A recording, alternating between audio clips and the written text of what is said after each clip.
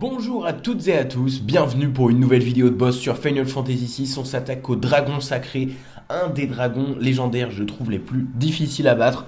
Un qui m'a posé problème et qui a réussi à éliminer mon équipe très rapidement. Effectivement, il est une attaque qui met à 1 HP tous vos personnages et il peut très très vite enchaîner euh, vers un sidéral ou une magie euh, de type sacré euh, qui va toucher tous vos personnages et qui peut tuer toute votre équipe du premier coup. Donc pour bien se préparer à tout ça, on va prendre Terra avec le Gant Genji, le Galon de Maître, Locke avec l'âme de Tamasa, Tristella et pour vos deux autres personnages, vous mettez sensiblement ce que vous voulez. Alors par contre très important avec Terra, il vous faudra bien l'épée Ultima accompagnée moi personnellement d'Apocalypse, hein, ça me donne une attaque à 510, ce qui est plutôt pas mal. Malgré que sa force soit à 43, elle fera quand même de gros dégâts, et ça c'est plutôt cool. Donc très important pendant le combat, il vous faudra absolument, ce sera vraiment vital, l'auréole. Vraiment, cette magie va être vitale pendant ce combat.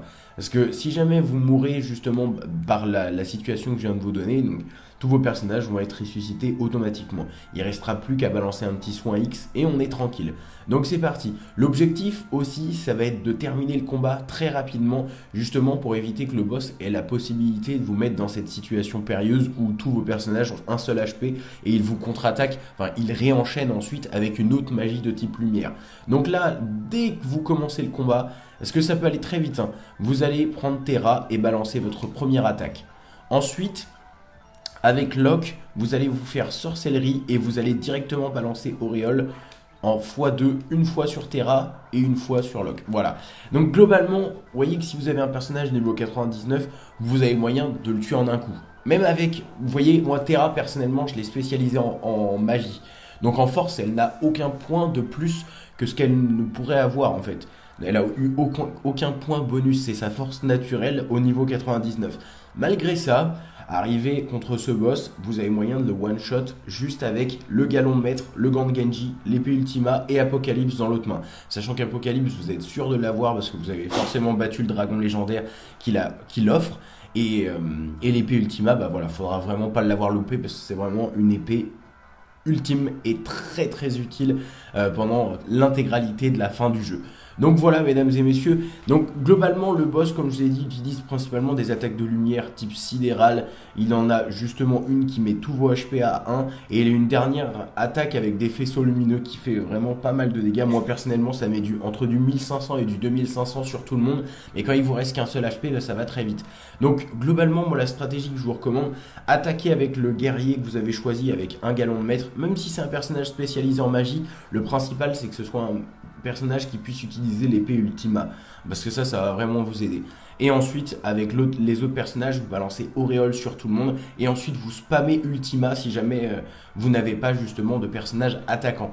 Hein, n'oubliez pas que célérité vous permettra d'agir, d'avoir comme deux tours d'affilée. Si vous mettez ça sur Lock, vous avez moyen de balancer plusieurs Ultima d'un seul coup, ce qui peut être vraiment très très utile.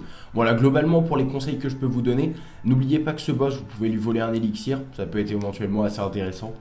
Et donc on chope Zanmato qui est quand même une excellente euh, épée, je crois. Soit c'est une épée, soit c'est un sabre. Je ne me rappelle plus très bien. On va regarder ça tout de suite. Voilà, Zanmato c'est un sabre. 255. 56 de parade.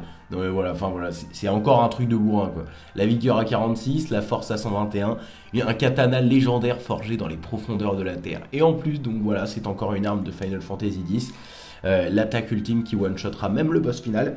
Enfin, je crois. En tout cas, enfin voilà, bref, c'est une attaque qui one-shot la plupart des ennemis des FF10. Donc voilà, mesdames et messieurs, pour ma vidéo sur le dragon légendaire, vous voyez que ça peut être très simple, beaucoup plus compliqué, mais globalement, le boss possède que 55 000 HP, donc ça va quand même relativement vite, même avec des ultimas, si vous faites 9999, si vous en balancez deux en un seul tour avec un seul personnage, il y en a un troisième qui en balance un, un troisième. Par contre, le gros problème avec ce boss, c'est que là, on n'a pas eu le temps de le voir, justement. C'est pour ça que l'intérêt de terminer le combat très vite, mais c'est que c'est un boss qui se soigne beaucoup. Donc du coup, il faut être très rapide dans ses actions, d'où l'utilité, comme je vous l'ai dit précédemment, d'utiliser la magie célérité, qui peut vraiment vous aider à terminer ce combat rapidement. Donc voilà, sur ce, je vous dis à tout de suite pour une nouvelle vidéo de boss sur FF6. Allez, salut